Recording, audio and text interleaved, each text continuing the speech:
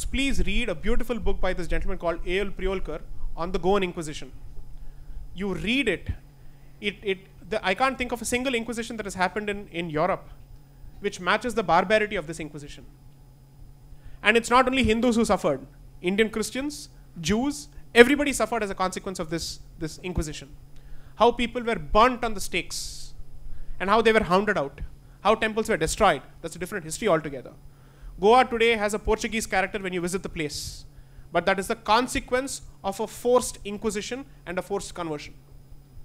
Those who accept a certain religion by conscience, it's their choice. You can't come in that way. But when it's imposed, then there is a certain problem. And when the fact of imposition is sought to be suppressed, then that gives rise to a different problem altogether.